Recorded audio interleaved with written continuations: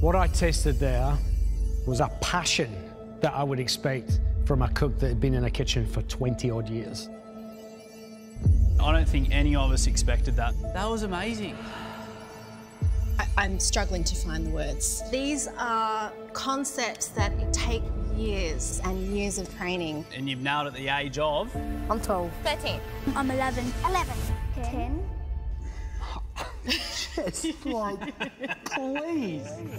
These mini master chefs will create dishes us grown-ups can only dream of. Spiced chocolate tart with a cardamom, ginger and star anise ice cream. Chicken that's been marinated in Chinese slash Malaysian flavours. Lime granita with a white chocolate mousse, a macadamia and ginger crumb and a Szechuan pepper meringue shard.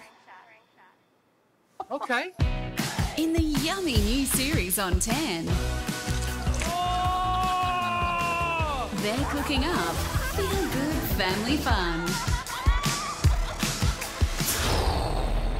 They'll blow the roof off the MasterChef kitchen. Oh my goodness! Look at that! And show us that world-class cooking is child's play. This is the kind of dessert that we would see in a normal MasterChef, not in a MasterChef Junior. Are you related to Peter Gilmore? Because that is as good as a snow egg. Thank you. Oh, Junior MasterChef is coming soon to 10.